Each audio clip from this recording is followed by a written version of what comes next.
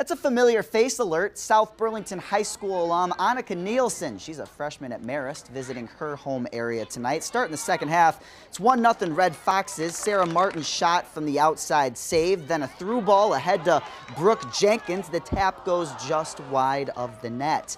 Later on, it's Jenkins again. Another golden chance again. She's just going to kick it wide of the net.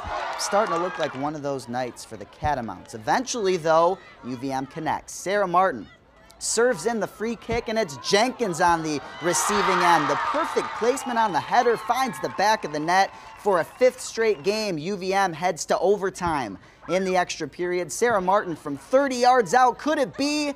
No, it could not. Keeper drops it, but regains possession. Neither team able to break through in the extra periods. Catamount settle for the 1-1 tie.